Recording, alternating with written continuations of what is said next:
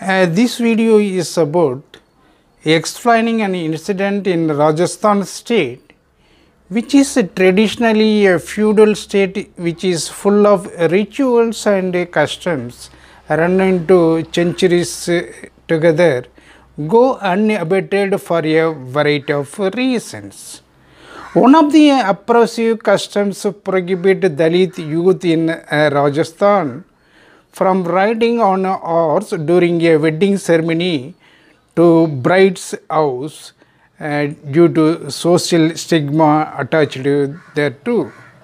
One Sri Ram Meghwal, aged 27, was the first Dalit bridegroom to perform the horse ride in January 2022.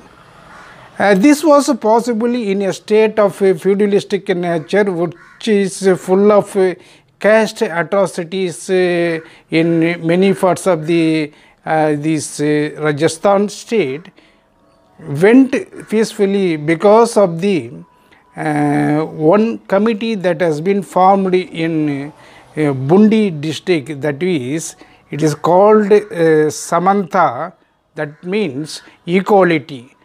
Because of the committee associated by the all the stakeholders of different uh, communities and police personnel and station officer together would be in a position to go all along with the bride uh, during the wedding ceremony. This has happened in this uh, Rajasthan state in a peaceful manner. Only because of the minds of the the oppressed the oppressors come into the rescue of the oppressed communities, this would happen. Another incident is that in Pali village, in, that is in Rajasthan, eight month pregnant women and her mother have been beaten by the Rajput caste dominated uh, men in the presence of uh, these uh, law and order enforcing authorities.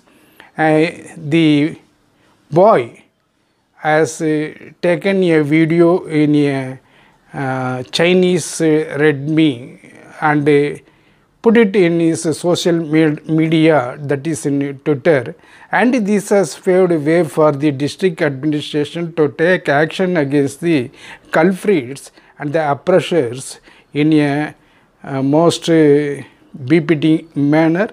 The, the matter is that the so-called oppressed communities because of their uh, access to education and uh, this latest uh, technology of handling laptop and iPhones, this has happened to explore the things that have been uh, happening in their society to a larger society and uh, awakening the conscience of uh, others people and uh, compel the law and order uh, forces uh, to come to the victim's side and uh, arrest the offenders of the crimes. This is the message of this video. Thank you so much.